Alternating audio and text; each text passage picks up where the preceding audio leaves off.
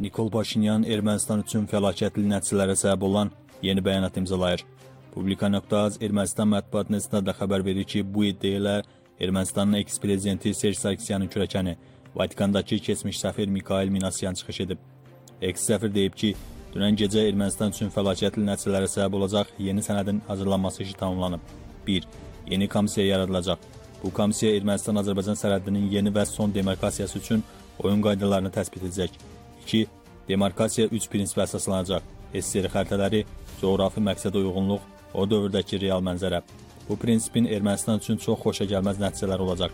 Çünki prinsip tətbiq olunduğu təqdirdə Azərbaycanın oynayacağı açıqdır. 3. Tavuş bölgəsinin 5 kəndinin, yəni Qazağın, Ararat bölgəsinin isə 1 kəndinin, Naxçıvanın Kərki kəndi Azərbaycana təhvil verilməsi Nikol tərəfindən müzakirə edilib. 4. Yeni son demarkasiya işlərini tənzimləyən sənədlər 30 iyuna qədər hazırlanacaq və paraflanacaq.